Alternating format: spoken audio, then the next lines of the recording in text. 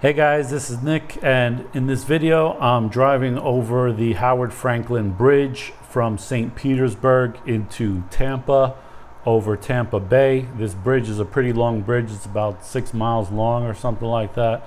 Anyway, I've showed a lot of St. Petersburg and Clearwater and so I want to show some of the smaller towns around, the more kind of like the boondocks.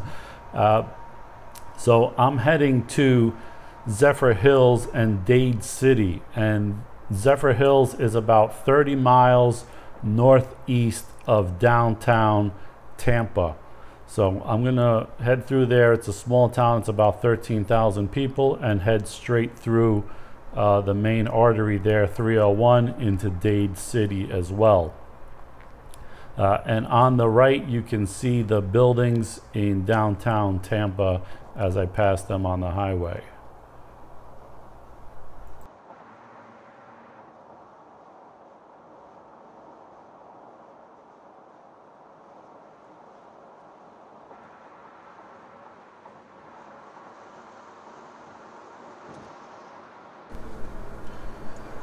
This is Zephyrhills here, and this road I'm on is Route 301, and it goes all the way up uh, through Dade City.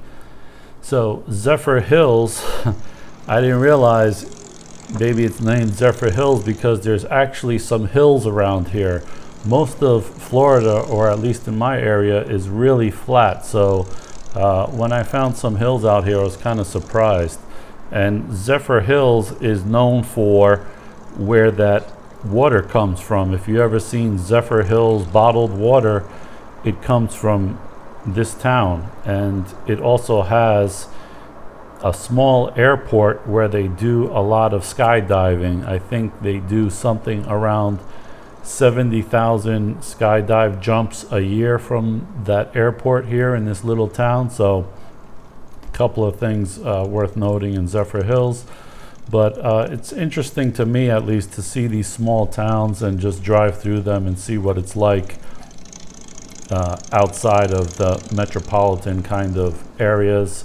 See how people live, what the stores are like, what the areas are like.